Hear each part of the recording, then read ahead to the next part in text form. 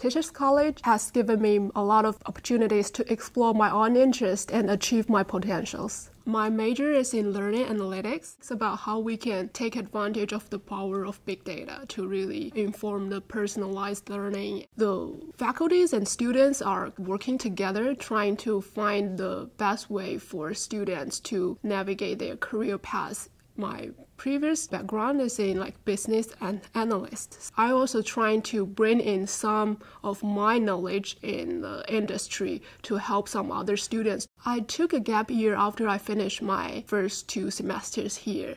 I went back to China and start a small business for high school students to help them explore their career potentials. I directly applied specific skills I learned here. I took a course uh, that given by Dr. Quarter multidimensional data analysis, we know that some psychological tests can help you to identify your career interests. So when I tried to find some tests and know about more mechanism behind them, I found that they're exactly using the multidimensional analysis. The name of my startup is 试界. Shi means try and jie means world. That somehow reflects my philosophy about like you always trying more and more in this world and trying to find your own goals and callings.